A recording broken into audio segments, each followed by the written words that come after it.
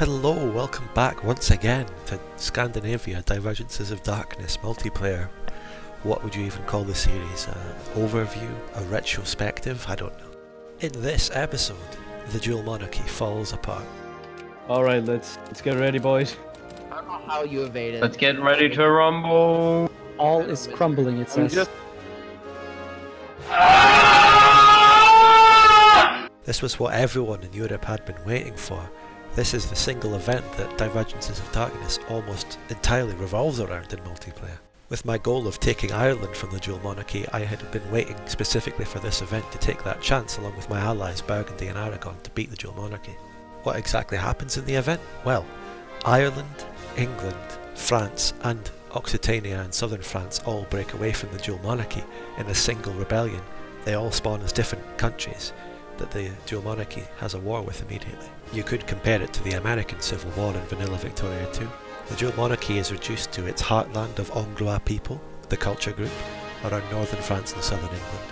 Oh, and uh, most importantly, Wales. Can anyone anyone want to help me? I'm having some issues in uh, in my nation.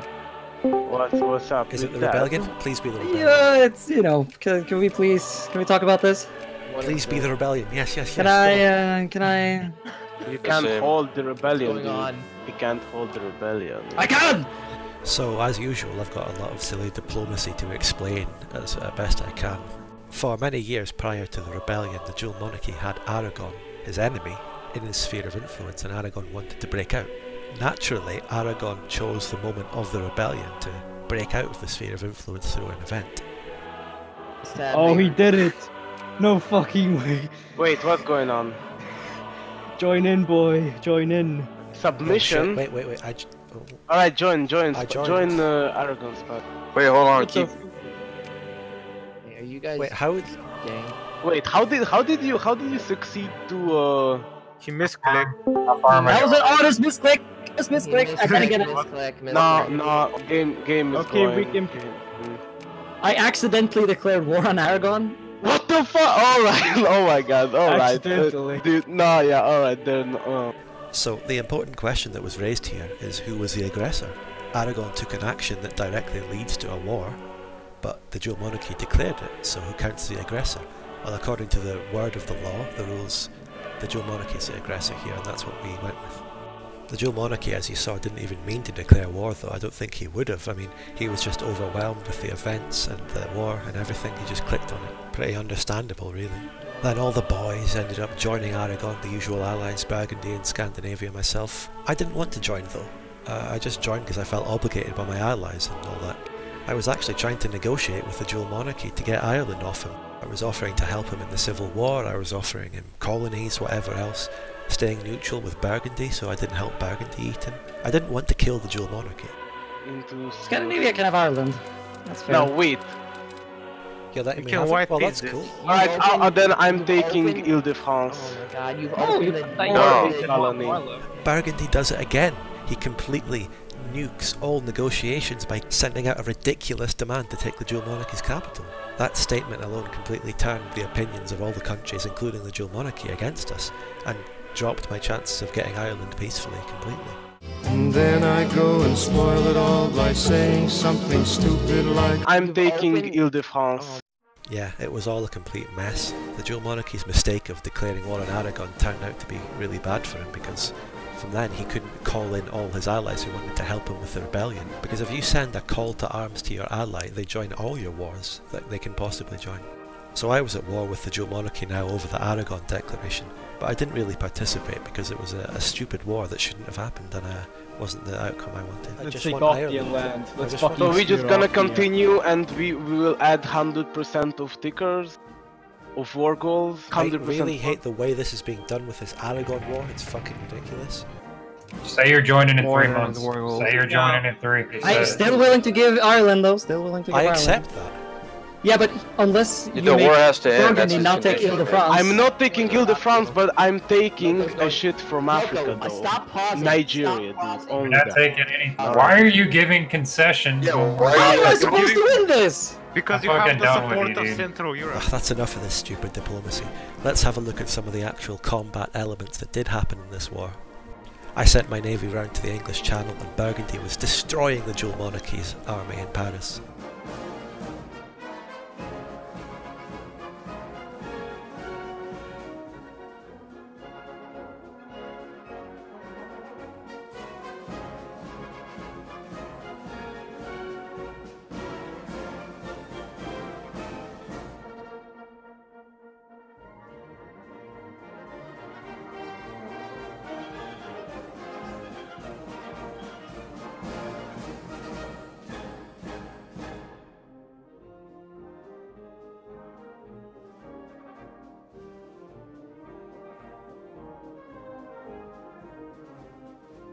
We're dead. We're literally fucking dead. We're so dead. We're That's so white dead. peace, okay?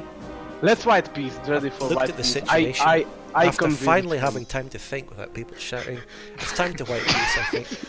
Yeah, we're peacing. I mean, come on, white peace. Yeah, everyone agrees. Let TJ decide. It's up to TJ. The, the question See, is, no, does it's fine, Rotenberg no. accept? Yeah, he said. Huh? he said. I guess. So He like- said, I guess. That means no. That means Spain, yes. Spain, White are you, do you accept? Peace. Good peace. Oh, What? You fucking white piece He said, the- I guess. What the he fuck? said. I guess. Yeah. I didn't say anything. I was about, Oh my god, get shit on. I was about to wipe the Aragon Navy, man. Oh And so the result was a white peace. My northern German territory, Pomerania, was occupied again and wasn't taken. How many times has this been now? Is anyone keeping count? I didn't get Ireland though. The dual monarchy finished off his rebellion successfully with what was left of his own army as well as support even from as far away as Japan. And Europe was back to almost exactly the same state as it was before this whole mess. Oh my fucking god. Communism in Aragon. Oh. Oh, No, really? Look at Wait, my did you get a military flag. coup? Oh, Purge the traitors. Why is traitors. it good he's bordering? The workers' What do you mean revolution killed the capitalists. We're gonna get oh more fucking fucking communist god. rebels. oh Everyone my my god. Communism. So my good friend Aragon's now falling apart. One of the main reasons for their sudden decline was a big war that had recently happened before the dual monarchy crisis. I don't really cover in these videos any wars that I'm not a part of because it's difficult to get all the footage and all the information right. But I want to show a little bit about uh, this war that took place between Aragon and the Ottoman Empire in Venice. I don't recall exactly how the war started, but Aragon wanted to go into Italy, knock out Venice so that he could form Aragon Italy and claim the whole peninsula. Well, this regional war turned out to be a long, bloody stalemate.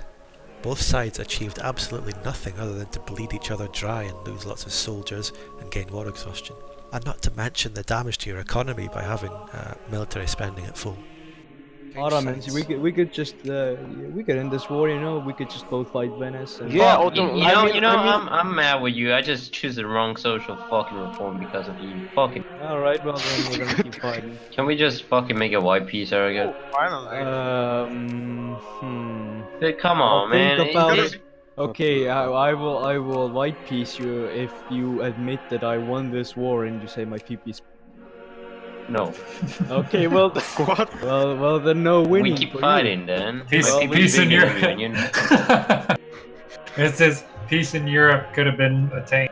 If you're going to commit yourself to a huge conflict like that, uh, risk so many soldier losses and uh, destruction of your country, it needs to be worth something. You need to get something out of it and you need to considerably advance your position. Neither of these countries did. They just dragged each other down and allowed other countries to become more powerful in their place.